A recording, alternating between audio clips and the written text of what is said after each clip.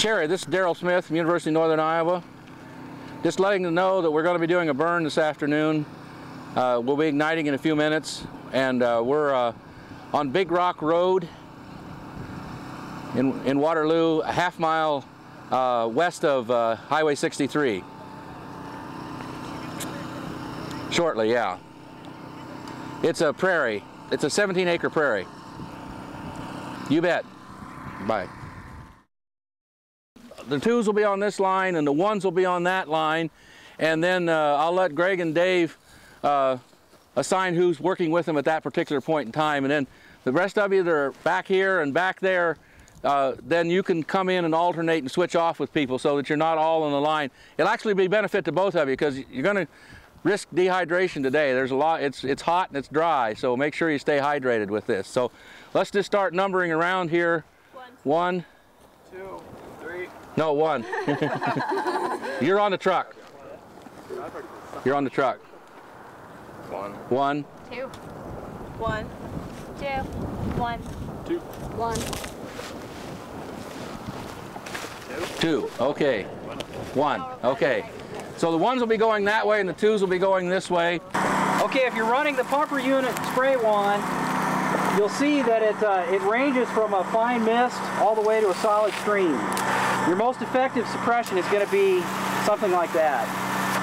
So don't, you know, don't be doing this or you'll push the fire into the unit. Uh, basically, your igniter is going to ignite a, a 20 foot length of fuel and all you have to do is just get the leading edge and just suppress it.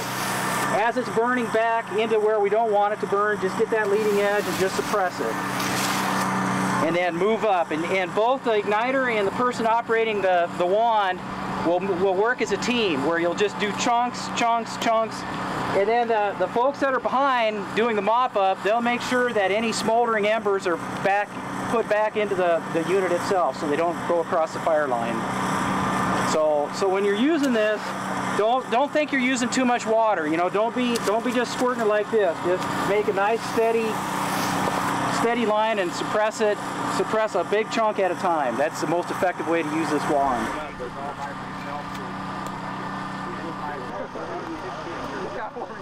And then I gotta figure out how to get up before I fall down. This board, wait, just put like a leaf on, like put a leaf up to it and spray paint over it. There you go. just like that. Just kind of dibble the dibble the uh, fuel out, and it'll light. I want Yep. Go ahead. Okay, basically what we're doing here is we want to make sure this corner is nice and black before we move on very far either way. Uh, and they're kind of widening the lane a little bit, getting a little bit clearer so we can get it going here. Well, the raking is just keeping so that there's not continuous fuel, so we got a so we got a break in the fuel right there. Normally we might have come out here, but it's kind of blowing that way, so we're kind of cutting the line through there. have to do a little improvisation on occasions. This.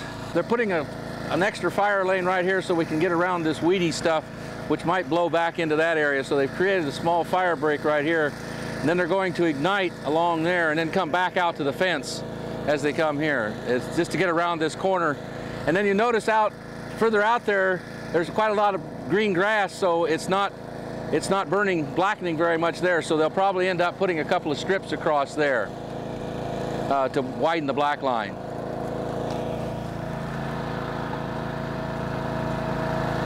By the time that crew gets to that corner down there and this crew gets part way down, we want a pretty nice wide black line on this back side here. You can see how we're developing in sort of an angle across here to make sure we got a good, good black area back here. Greg's sort of widening that out right now and, and uh, making sure that we get a good black area because we don't want to push back in this corner. Once that uh, giant ragweed stalks get started, they burn very hot. It's a little difficult getting them started sometimes, but once they get going, they're very hot. So the radiant heat that they're putting out is forcing the firefighters back a little bit as they work. You may have noticed that we've got two pumper trucks on this fire, and they're really very helpful because you can take them to a wet line right along with the uh, person who's doing the drip torch so that you've got water right there at the site, and that enables you to exert a little bit more control on the fire so it doesn't flare up and have a tendency to escape.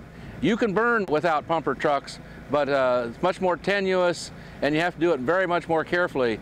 Uh, because you're working with limited water and a limited force of water. So these, these pumper trucks are really handy to have and uh, really increase the safety of the burn. We're on the north side of the, of the unit now, and you can see behind us the, the north fire line. And right now the wind is almost due south, so it's pushing the flames back uh, across the fire line a little bit. Fortunately, we have a nice disc line here, so we're not too much danger of escape, but you'll probably notice the uh, firefighters are under a lot more radiant heat on this side because the way it's pushing the flame that direction. So it's a lot hotter over here than it is on the other, on the other line. And invariably, that's usually the case. It's going to be a little hotter or a little bit smokier on one of the lines that's, that's on the downwind side. What they're doing now, that he, we got the nice line blackening along the edge here. Notice he went out with the drip torch and just widened the, widened the line a little bit. So he's burning back a little bit more to get these uh, giant ragweed stalks further in because they burn so hot. The further we can get the black line in, the easier it's going to be to control this line and the wider the line is going to be. So he, you'll notice he's burned the strip out of there, widening it out. Well, that's a good thing that uh, we had this fire break in place. Otherwise, we'd have been dead meat. We'd have had an escape fire for sure today, the way this is flaring up. Uh, Dave is running a strip fire along to widen the black line. So basically what it is is a strip head fire.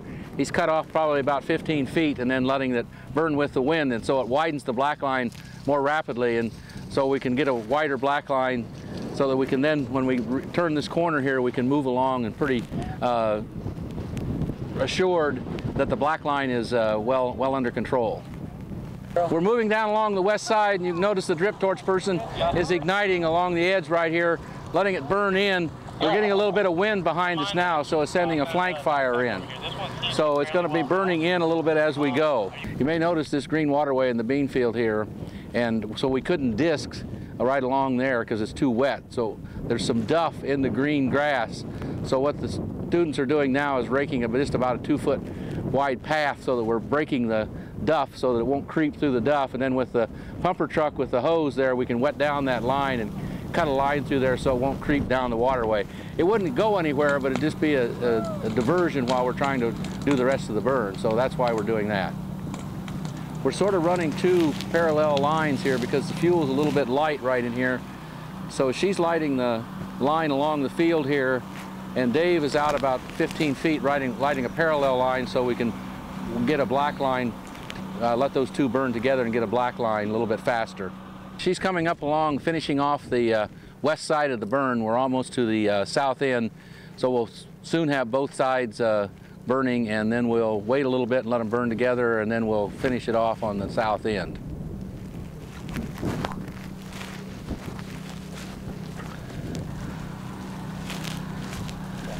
You may notice we've had a little bit of a wind shift uh, it's coming a little bit more to the uh, out of the uh, south and uh, a little bit southeast, you know, so this is burning a little bit more vigorously. So it's good that we've got a good wide black line along this side because we can account for the wind shift and, and, allow for it so it's not going anywhere now. So basically, notice the uh, fire, the dust whirl moving up down there. Can you see that? Looks like a little circle of dust going up column. Now it's kind of dissipating a little bit now. The, yeah. You may notice the, the uh, blackened smoke is much darker from the head fire there, and then where the fire's already been, you can see it's lighter where the combustion's done and it's just burning a little bit that's left. So the, the darker is due to the particles that are being kicked up in the air with the head fire. It's burning a little bit more vigorously. It's much hotter above ground than, than the backfire is much hotter close to the ground. You may have noticed when the head fire was going pretty strongly over there, some of the trees were, were what we call torching. The, there was enough fuel under them to ignite the trees so that we burned some of the woody stuff, which was one of the objectives of the fire, to reduce the woody vegetation along with the non-native vegetation.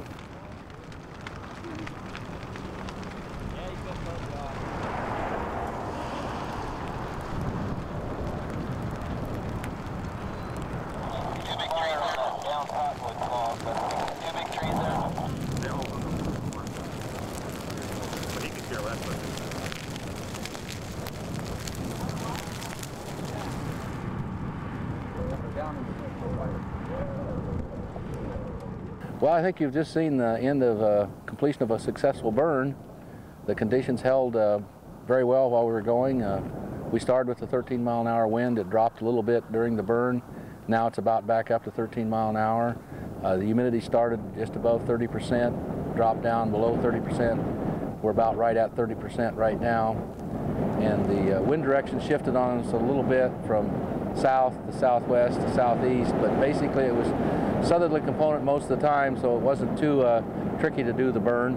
We hope that uh, the objectives that we had set were met. Uh, we, I saw evidence that we did uh, reduce some of the woody vegetation. Uh, remains to be seen how effective it was overall, but I'm sure some reduction. Hopefully we've uh, got some of the non-native species that are fire sensitive and stimulated some of the native species.